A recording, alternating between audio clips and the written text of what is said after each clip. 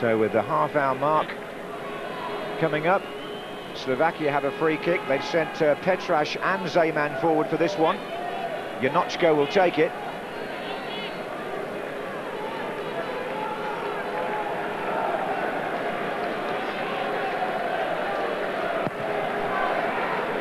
Oh, and that went all the way through and in. Janocko is getting the congratulations, the man who took the kick. I don't think the two big men got a touch. I don't think anyone did. It's, it's, almost an action replay of England's one, if you remember out there, John, when it went right across. Michael Owen came in, and he didn't get a touch, and it went in at the far post. That was almost an action replay. David James, not what he wanted. Look, it curls in. Is anyone going to get a touch? I don't think anyone does, and then it skids off the surface and goes in that far post. I think that has to be. Maybe he lost his balance and he went down. Uh, but you know, it's great individual skill. Look, he's just running away from it, and really, uh, you know, the ball's gone too far away. But it's going to be his penalty. He's the captain. Can he score? Well, it would have been Beckham, of course, had he been here.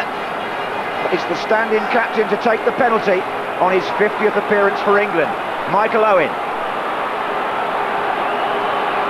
A really vital kick.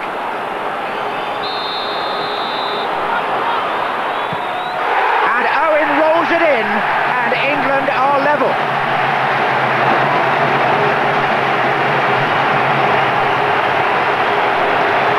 A much-needed break for And he created it, to be fair. It was a great run. And then when he was possession, Cole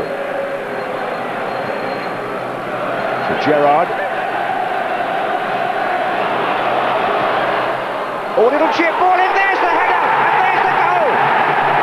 Michael, Michael Owen, again for England. Oh, goodness me. The captain's done it. How many times have we said that for Beckham? We're saying it for Owen. Actually. Gerrard, the instigator.